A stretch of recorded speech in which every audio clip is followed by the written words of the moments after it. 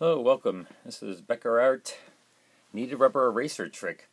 Um, this is a trick I learned from Max Rampt, who taught me a lot about illustrating um, storyboards, but he's also taught me a lot about drawing.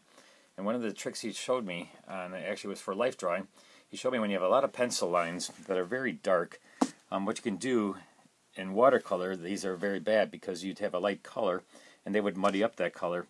What you can do is you can take a kneaded rubber eraser, one of these, it's very bendy, and what you want to do is roll it into a rolling pin. Just take it and make it kind of like a rolling pin, and then take it and roll it across your paper. And this is like this, in this fashion.